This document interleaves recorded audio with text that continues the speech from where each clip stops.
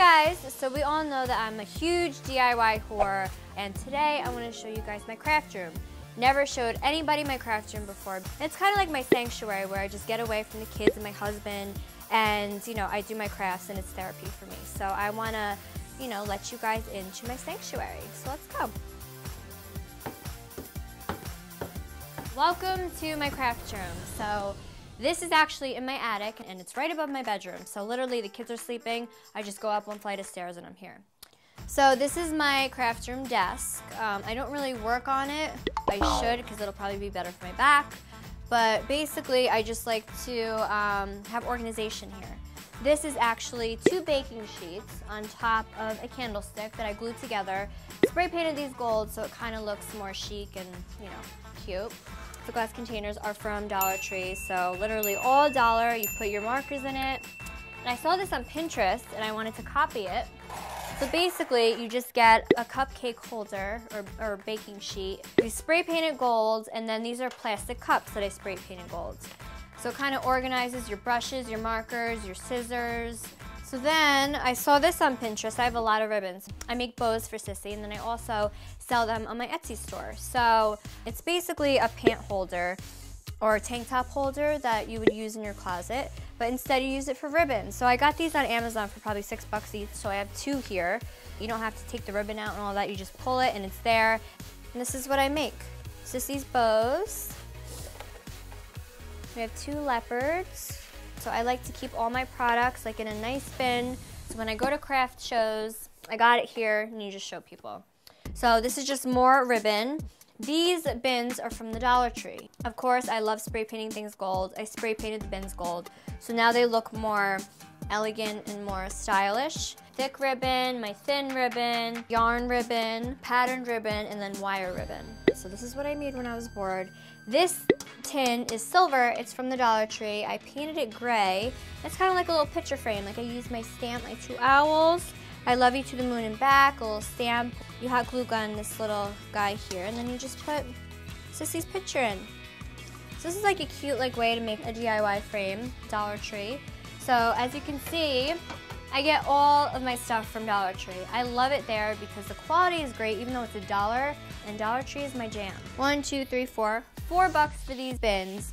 So you stick it on there with a sticker and then you put these on there. Obviously you can't put anything too heavy. So I put my twine in here. I got washi tape.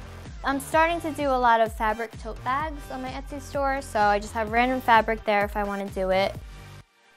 Jionni got me this as a present. You're gonna see it on my FYI show, Shore Flip, but basically Jionni came up here, he realized was everywhere and he wanted to organize it better with shelving. So he bought me this shelving, which is just so perfect. Bins for my pearls, my rhinestones, I got wood frames, scrapbook paper, which you can't go wrong with.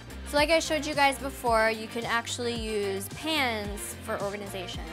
So here's some just cooking pans that you could get at Dollar Tree. Um, you could use them for anything. You could put beads in it, uh, markers, anything like here.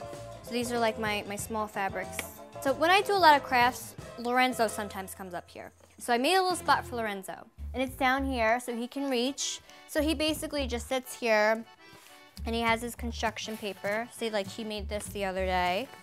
So he just stacks stickers together. What I do is I wait for sales at Michael's. So these are Valentine's stickers and Valentine's was over, so these stickers were like a dollar each. That's when you go and get your stuff for your kids. I got him markers, so I bought these on Oriental Trading. So that's like a wholesale place where you can get a lot of stuff for your kids. So I got him a million markers so he never runs out and he's always good.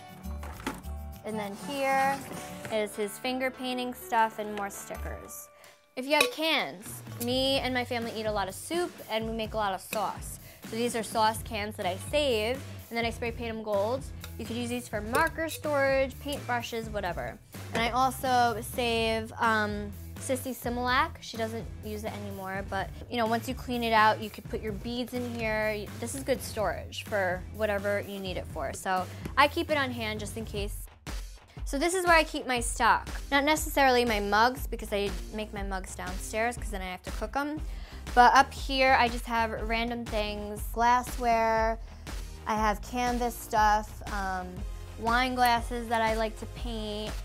These are the candlestick holders from Dollar Tree. So if you want to make, you know, like a cute little thing, like, um, where do I have it? Oh, I have it here. This is from Sissy's birthday party. So I actually have this in my in my closet and I put a lot of jewelry in here like rings and stuff like that. So it's just like cute things that you can make in the candlestick holder. So I always have them on hand.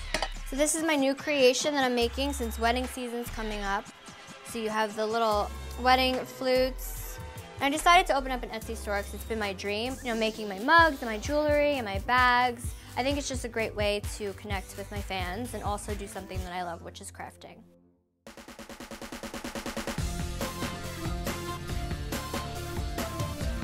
I hope you guys enjoyed my craft room.